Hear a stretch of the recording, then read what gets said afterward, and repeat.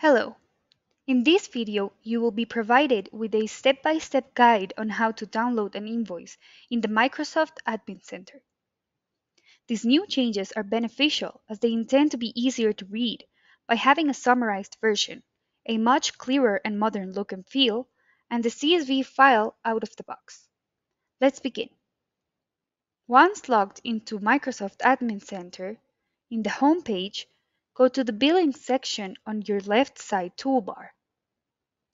Select the Your Products category.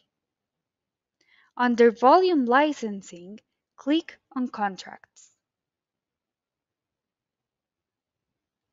Select the license of your choice and click on the ellipsis symbol, then View Invoices. In the invoice list, you will see an icon for a CSV file and one for a PDF file. Click on them to download and find them on your Downloads folder. Once downloaded, you will have a detailed invoice PDF document and a CSV file. This file format is helpful for audit and tax roles.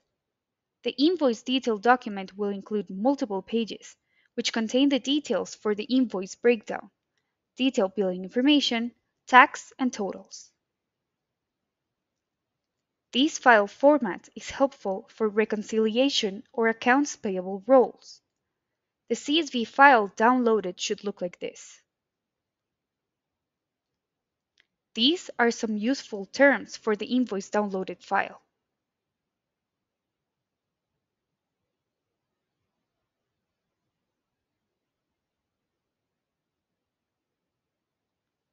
We hope this video was useful and clear on steps needed to download an invoice from Microsoft Admin Center. Thanks for watching.